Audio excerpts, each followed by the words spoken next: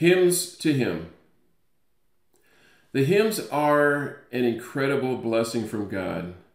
I believe that they are a bridge between the heaven and the earth. I also believe the hymn book is a fifth book of Scripture.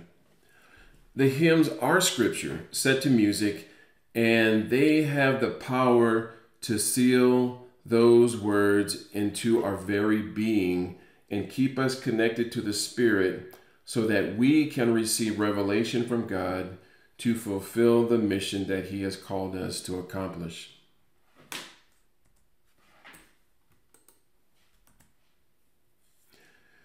Today, I would like to discuss Hymn 180 Father in Heaven, We Do Believe.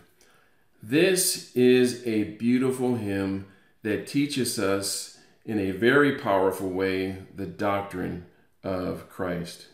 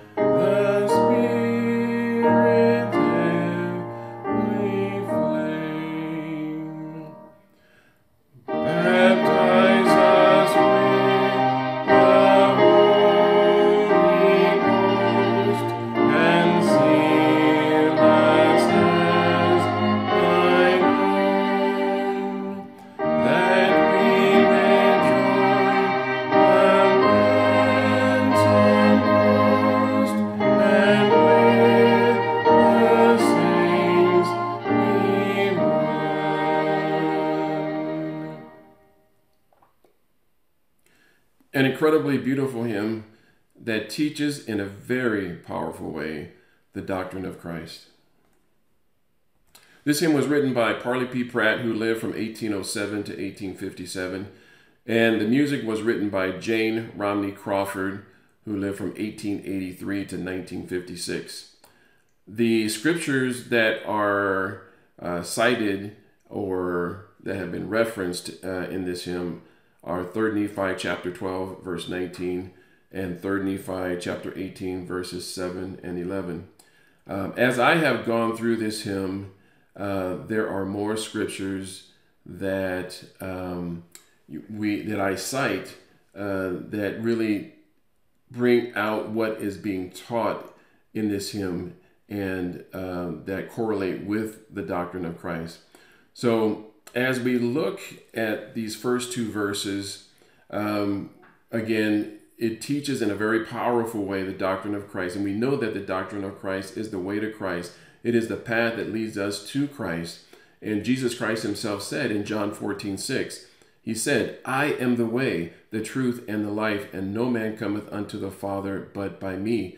So if we are to inherit the kingdom of God, there is no other name under heaven except the name of Jesus Christ where we can find salvation.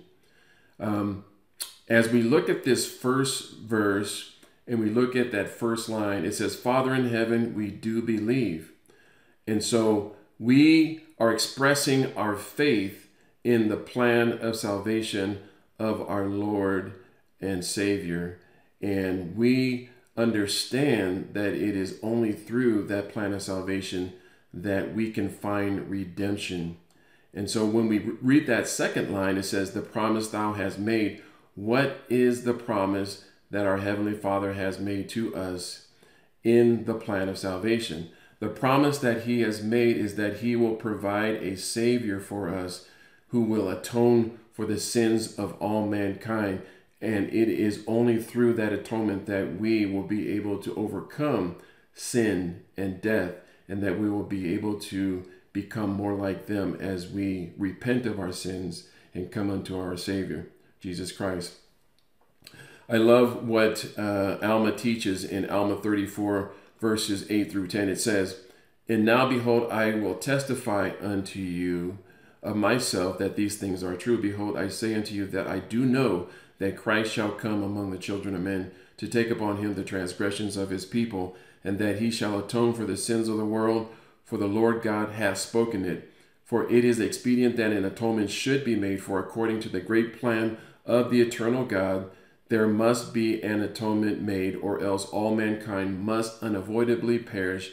Yea, all are fallen, all are hardened, and are lost, and must perish, except it be through the atonement which is expedient should be made. For it is expedient that there should be a great and last sacrifice, not a sacrifice of man, neither of beast, neither of any manner of fowl for it shall not be a human sacrifice, but it must be an infinite and eternal sacrifice. And so the promise that the Father has made is that he will provide a Savior for us. The third line says, Thy word with meekness we receive. What is the word? We know that the word is our Lord and Savior Jesus Christ. And as we receive him with meekness, we are able to apply the atoning blood of Christ on our behalf and receive forgiveness of our sins and to be sanctified and purified, and that we might be able to ascend and become more like our Savior and our Father in heaven. And then the last line is just a statement of our faith, just as the saints have said. And so we recognize that the plan of salvation that our Heavenly Father provides for us is something that we have a testimony of, and we know with a surety that through the atoning blood of Christ, we have the ability to return to live with our Father in heaven and our Savior Jesus Christ. Verse 2 We now repent of all our sin. When we recognize our Lord and Savior Jesus Christ, when we have faith in Him, we recognize that we are not like Him. We recognize that we fall short of the full measure and stature and glory of our Lord and Savior Jesus Christ. And because of that, we recognize that we have to change to become like Him. And so that process of change is called repentance. And so as we repent of our sin, we are sanctified and purified and made holy. In 1 Nephi 22 28, it says, But behold, all nations, kindreds, tongues, and people shall dwell safely in the Holy One of Israel, if it so be that they will repent. So we find safety and we find peace in our Lord and Savior Jesus Christ if we will but repent of our sins. Line two, it says, And come with broken heart, and I will add, and a contrite spirit. And as we do this, we again will be able to receive the covenant and choose the better part. And so we have a choice. We can remain in sin or we can come to the Lord with a broken heart and a contrite spirit, enter into a covenant with Him, choose the better part, the part that provides peace and joy and love and eternal life, or choose death um, by remaining in our sins. In verse 3, uh, the first line says, O Lord, accept us while we pray. We understand how important prayer is because prayer is the way that we communicate with our Heavenly Father. It is the way that we are able to ask for forgiveness and receive forgiveness of our sins. And 2 Nephi 32 9 talks about the importance of prayer. It says, But behold, I say unto you that you must pray always and not faint, that ye must not perform anything unto the Lord, save in the first place ye shall pray unto the Father in the name of Christ, that he shall consecrate thy performance unto thee, that thy performance may be for the welfare of thy soul. So we understand how important it is to pray always, to always have a prayer in our heart, always be seeking the Spirit and the guidance of our Lord and Savior Jesus Christ. And as we do this, we can receive forgiveness of our sins, and then we enter into a new life and we can live. We who are sinners, we can live through our Lord and Savior Jesus Christ. So I love those last three lines. And all our sins forgive, new life impart to us this day, and bid the sinners live. In verse 4, uh, it says, Humbly we take the sacrament. As we look at that word sacrament, as we break it apart, the first part is sacra and the, and the second part is ment. Sacra means holy and ment is way. So as we humbly take the sacrament, we enter into the holy way. We renew our covenant that we have made with the Lord, and we enter into that holy way in Jesus' blessed name.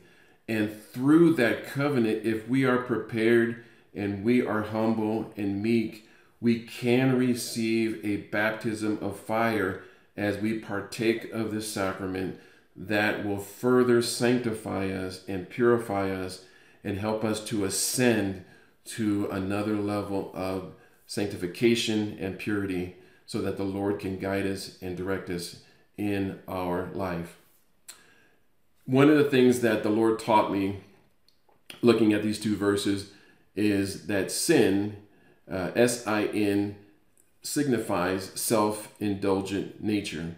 So as we seek to find indulgence in the things of the world, we are not able to receive the blessings that Heavenly Father has for us.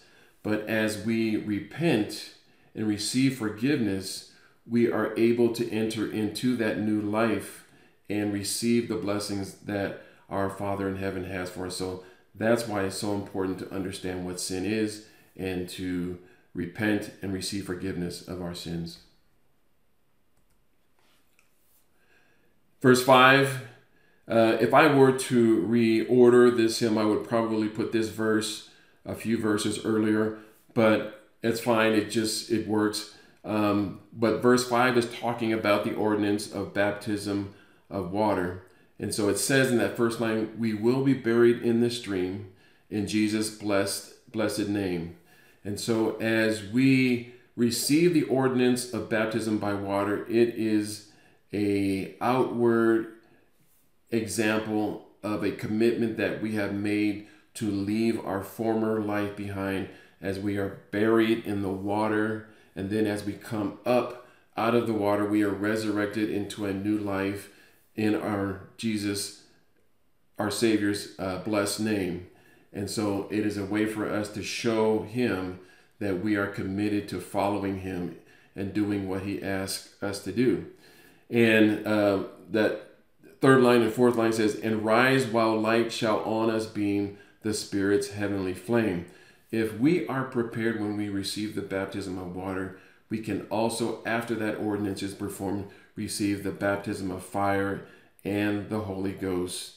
And as the Savior set the example for us, we can likewise receive that blessing if we are prepared.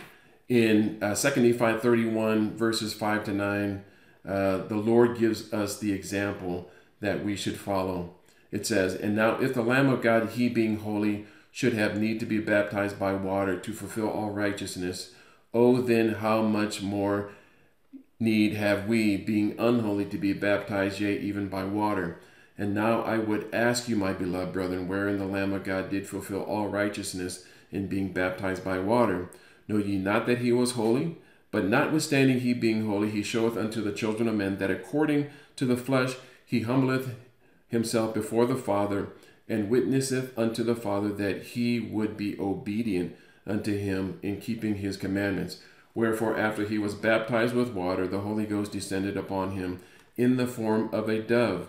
And again, it showeth unto the children of men the straightness of the path and the narrowness of the gate by which they should enter, he having set the example before them. And so, again, we follow our Lord and Savior Jesus Christ because of the example that he set for us in receiving this ordinance of the baptism of water. And then, as I mentioned, if we are prepared, we, after this ordinance is um, um, executed on our behalf, we can receive the baptism of fire in the Holy Ghost. Now, this is not uh, necessarily the order that it has to be uh, received. Uh, many times we read in the Book of Mormon, uh, the Lamanites received the baptism of fire and Holy Ghost before they received the ordinance of baptism of water. And that was because of their faith in our Lord and Savior Jesus Christ, who had not come as of the time that they received this ordinance, but because of their faith and because of their desire to follow our Lord and Savior Jesus Christ, they received that. Because the Lord says in 3 Nephi 9:20 that what we are to offer, excuse me, as a sacrifice is a broken heart and a contrite spirit. And if we do so with true intent, true purpose of heart, he will baptize us with fire and with the Holy Ghost.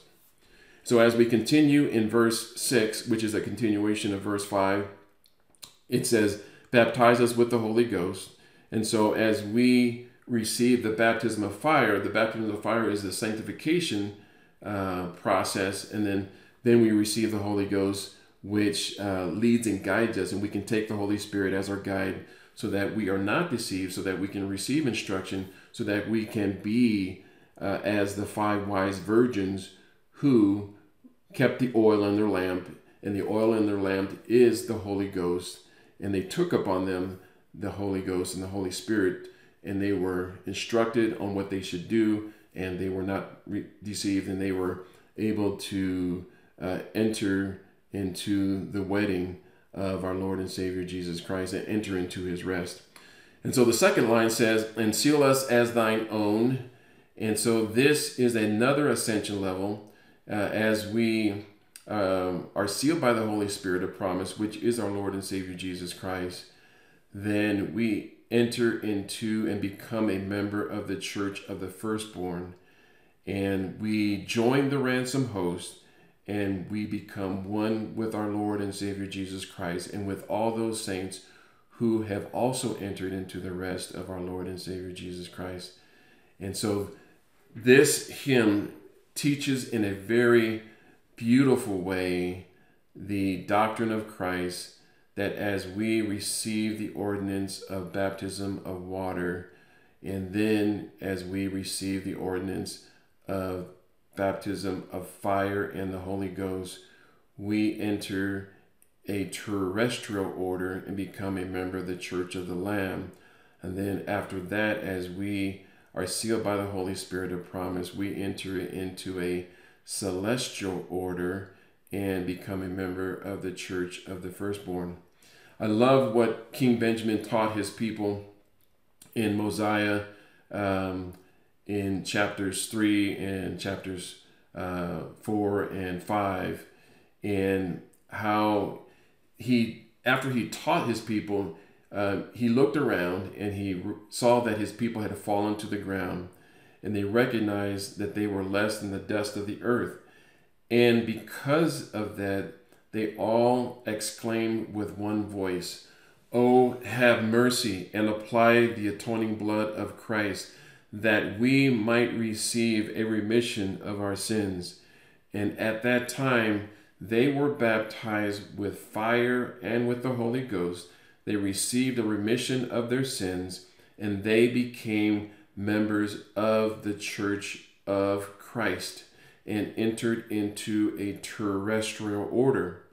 And they continued and they said that they had recognized that they had been changed, that their natures had been changed, that they had no more disposition to do evil, but to do good continually. And this was because of the faith that they had on the words that their king taught them about our Lord and Savior Jesus Christ. And then they said that if it were necessary, they could prophesy of all things. That is because they had received the testimony of Jesus Christ, which is the spirit of prophecy. And so, because of that testimony of Christ, they had the ability to receive and to prophesy of all things. And so, then after that, they entered into a covenant with our Lord and Savior Jesus Christ. And because of the covenant that they entered into to follow Christ for the remainder of their days, they became sons and daughters of Christ. And so King Benjamin was very pleased that their people had recognized our Lord and Savior Jesus Christ and recognized the importance of entering a covenant with them.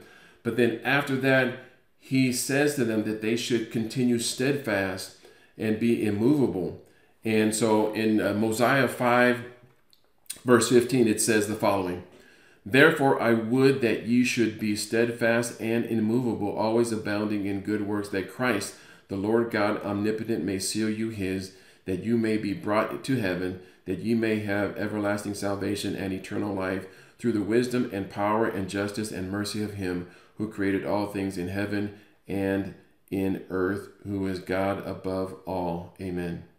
And so, this hymn, in a very powerful way, teaches us the doctrine of Christ, helps us to understand it.